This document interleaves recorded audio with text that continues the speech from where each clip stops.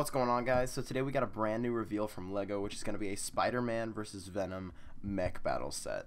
So before we get too far into it, uh, I do want to say if you haven't subscribed already, hit the subscribe button down below and I'll keep you filled in on LEGO leaks, reviews, and news as soon as they come out. But other than that, let's hop into some of the details. So this set's going to be clocking in at 604 pieces and allegedly going to cost $50 according to Gizmodo who was in charge of the reveal for this set.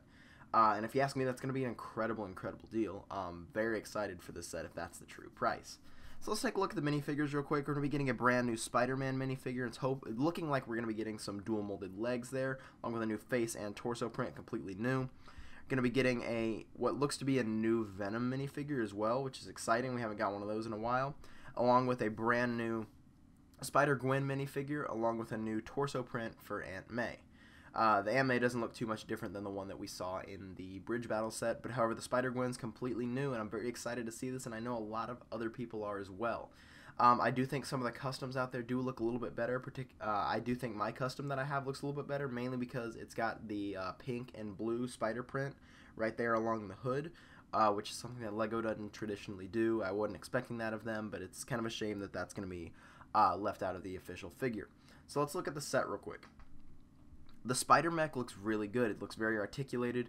Obviously, not quite as big as the Venom Mech, but this is really, really nice that we're getting this. Uh, it looks a little sticker heavy along the feet, uh, legs, and torso.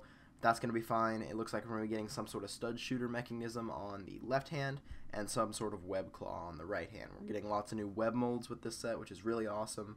Some of those recolored like Power Blast pieces right there uh, along the uh, cockpit to make it look like a uh, recolored in white to make it look like a web.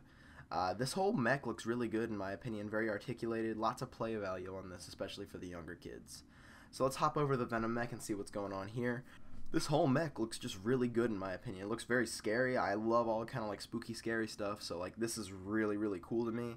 Uh, looks like the there's going to be points of articulation uh, within the ankles, along the hips, the arms, and it looks like the head's going to be pretty uh, solid right in there. Speaking of the head, looks like there's going to be a brand new printed dome piece right there to uh, create Venom's eyes, which looks really badass. I'm really excited for that. All the little like tentacles or whatnot coming off the back look really, really good. The claws look good. Everything about this mech looks incredible. I'm not exactly sure uh, if the Venom figure can go in it, or this is supposed to be like a morphed symbiote version of Venom. If that's the case, that's really cool. Either way, this looks incredible. Uh, the tongue sticking out looks awesome. I'm very excited to see some pictures of this on display at San Diego Comic Con this weekend just to see how big this set is. And like I said, 604 pieces for $50, that's just a really solid deal. And then on top of that, we're also going to be getting a small little surfboard, skateboard, floating jet type build or whatever for uh, Spider Gwen. Uh, it looks really cool. Nothing too too special. Uh, the board looks like it's got a sticker on it, sadly. Uh, but however, it's a welcome little addition to the set. On top of that, we're also be getting some new web molds. You can see right down there at the bottom of the picture. I'm hoping that these new web molds are in the harder plastic and not necessarily that kind of soft rubbery plastic that we've seen other parts molded in, especially the more detailed ones. Uh, we we won't really know until this set comes out on shelves.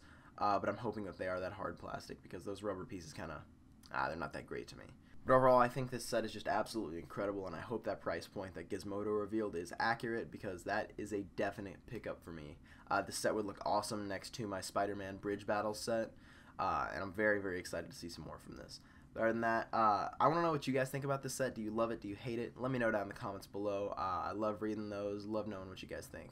If you like the video, drop a like below, and if you want to stay up to date on other LEGO content like this, uh, all sorts of other cool stuff's on my channel, be sure to check it out and hit that subscribe button if you want more. But other than that, I will see you guys in the next one.